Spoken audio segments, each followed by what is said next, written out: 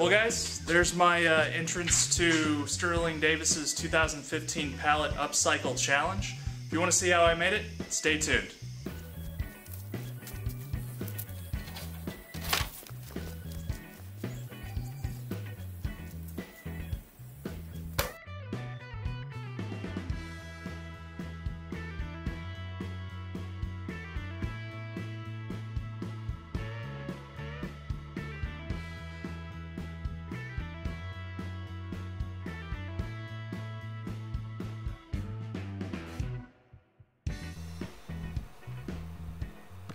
So I decided that the wood didn't look rusted enough for my taste, so I grabbed my wafer hammer and gave it a little bit more character.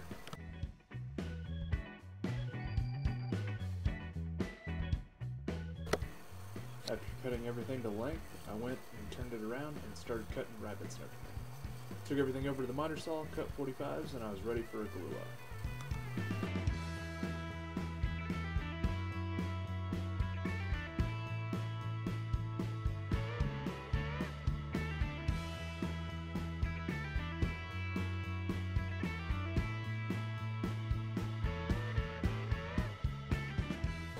After the glue dried, I just grabbed some clear satin polyurethane and put it uh, pretty liberal amount all around the top and sides.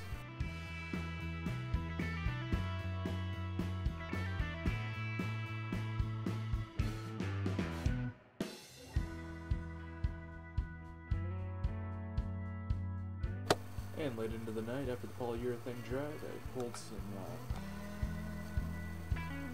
plexiglass from a project I had previously worked on and uh, put my photo of, of uh, the beach on there, grabbed some two-sided carpet tape, placed it on the middle, and then sandwiched it in between those two pieces of plexiglass.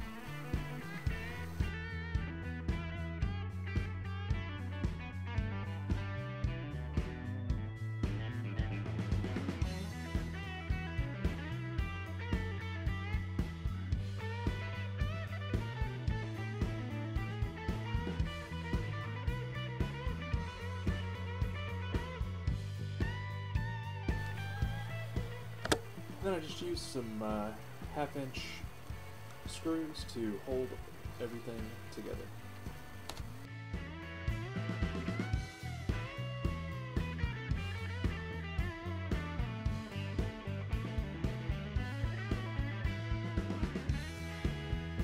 Thanks for watching. If this is your first time here, you can go ahead and hit that subscribe button.